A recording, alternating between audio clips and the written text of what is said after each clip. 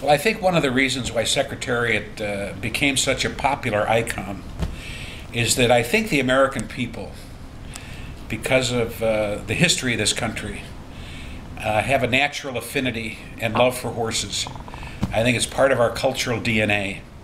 Uh, don't forget, the horse is the, is the beast that carried us from New York and Massachusetts across the Alleghenies, across the Mississippi, across the Great Plains, pulling Conestoga wagons, constant companion, carried us across the mountains, Rocky Mountains, into California. They carried us into the gold rush.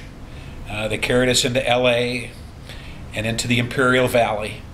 And basically, on the back of the horse, America was settled.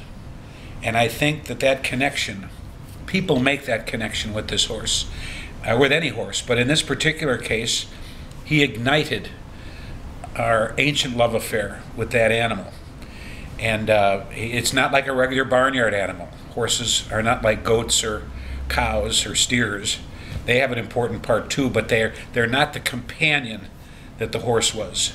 Uh, like a dog, it's more similar to the dog than anything else. But don't forget, this was a beast of burden. This is the animal that carried us across the plains, that helped settle the West and uh, more than a companion, he was a he was a carrier. He was our carrier, and I think when a horse like Secretariat comes along, it ignites this old love affair that Americans have with the animal, with the beast, and uh, and and he was so gorgeous, and he came at a time when America was in a, a national funk.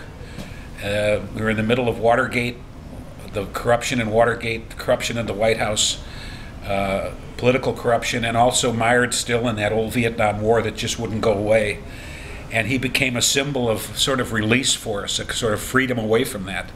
And uh, you know, people said, you know, it, he gave us an opportunity to turn away from the darker side of what was going on in America to a much brighter side, and actually kind of turned us into the past, uh, into a fresher, cleaner past, uh, where you know, where the horse, where the horse took us back many years ago.